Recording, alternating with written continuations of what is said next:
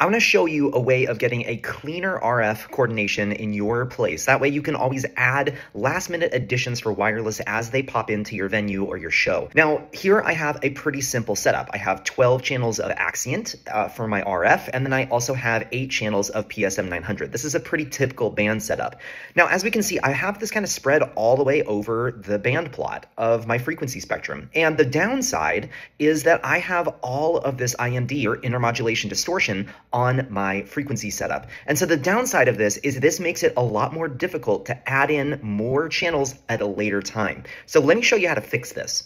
Now I'm using soundbase.app that you can use. Now this is a free tool that you can use online, so go check it out. Inside of this, we can select our band plan. Now I can go and press edit on this. It's going to allow me to force my coordination of specific items to a specific spot in my frequency spectrum. Now we do need to know a little bit about our devices before we actually do this. And that is where in the frequency spectrum does my device actually live? So let's go check that out. So I can go and click on my PSM 900s in the G7 band, and it's going to give me my frequency range right here, which is 506 to 541. Now we can go down here and select down here, and we can see that 506 starts at TV channel 20, and 541 goes all the way up to channel 25. So knowing that I have that specific TV set range, I can maybe force all of my PSM 900s into say channel 20, 21, and 22. So let's go ahead and do that. So let me go into my band plan and I'm going to add in a band plan by TV channel. And I'm going to have it start at TV channel 20 and end at TV channel 22.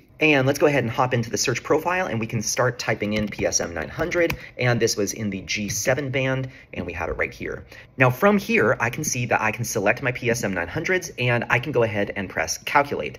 Now we can see all of the frequencies that I can assign for the PSM 900s in this spot. And I only need eight and we can press add selected. Next, I'm going to add in a band plan for my Axient. And now we can go ahead and add in my Axient. And I can go ahead and pull up my band plan and then press calculate. And we can see that I have a good amount of channels here, which is why I love Axient. So there's 10, there is 12. We're gonna go ahead and add in the selected.